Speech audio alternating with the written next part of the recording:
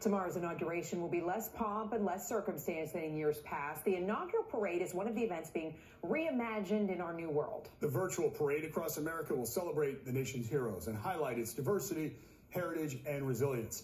It will feature performances from all 56 states and territories and representing New Jersey, and we're excited. The yeah. Teaneck High School flag twirlers. News 4's Tracie Strahan spoke with them about a big day.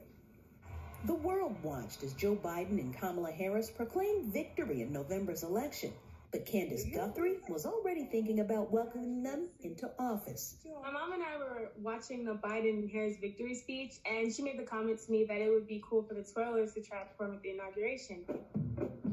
That request was answered and granted, allowing the Teaneck High School flag twirlers to represent the entire state of New Jersey in the historic Parade Across America event. I was like, the presidential inauguration, what? But as like um, we started to do it and really it became real, I was like, wow, this is such an amazing experience, and it just became real. The group of young dancers and members of the drumline are no stranger to being in the spotlight, but presidential pressure is different. The young ladies choreograph the dances.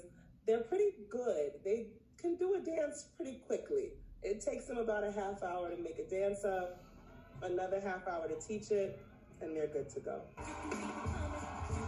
One of the songs of their inaugural performance is a clear tribute to Vice President elect Kamala Harris. There was something about hearing her walk out to that song that just empowered us.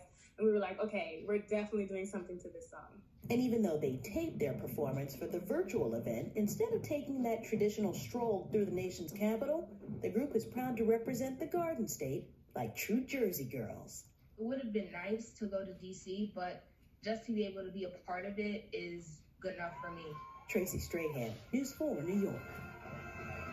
We are so excited for them. NBC will have complete live coverage of the inauguration, the parade, and the rest of the day's events. That starts at 7 a.m. with the Today Show.